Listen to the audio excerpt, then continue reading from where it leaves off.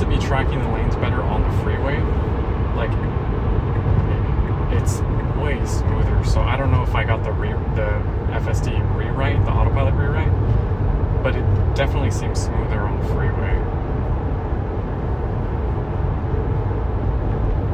And then as soon as it jumps out of the highway, the UI is going to switch to city city mode.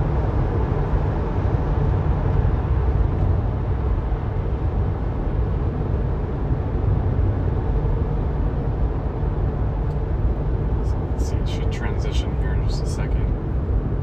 Because it's just about to go into regular mode. There it goes. So now it's on city mode.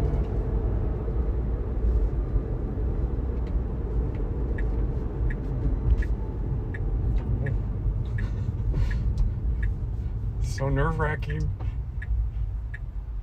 Oh my gosh, this is crazy. Waited for the cars and everything. Now it's gonna want to turn left. There's a car here. So slow down. Slow down. Okay. It's changing lanes.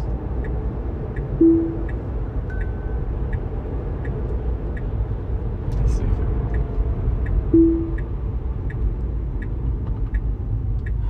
Oh, it's not.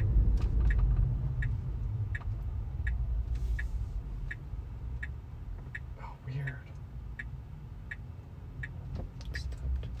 Oh, okay. So it was waiting for the car to clear. Okay, so it should stop here. Turn on the signal. Oh. Okay, detected the red light. You can see it there. Oh, there's the there's a person right there.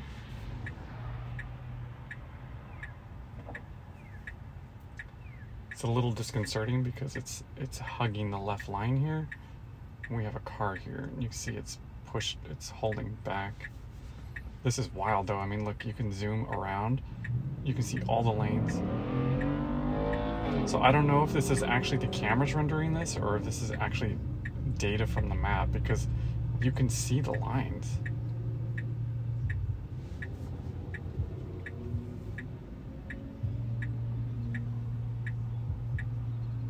So I haven't done anything. This has been Since highway. yeah, since the highway it took the exit and everything off the freeway. I just had to have my hands on the wheel for it to do the the um, changing of lanes. Okay, let's see here. Left hand turn. Okay, it found the lane.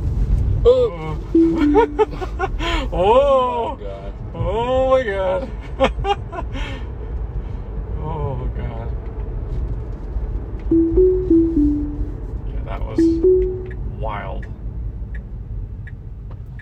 It's it's having trouble detecting the the lane. So I mean it detects the stoplights okay. So here turning left. Yeah, it's like overturning. It's this. It keeps happening on left-hand turns for some reason. Yeah, yeah. Now you see why I didn't have audio last night because uh, Will was screaming.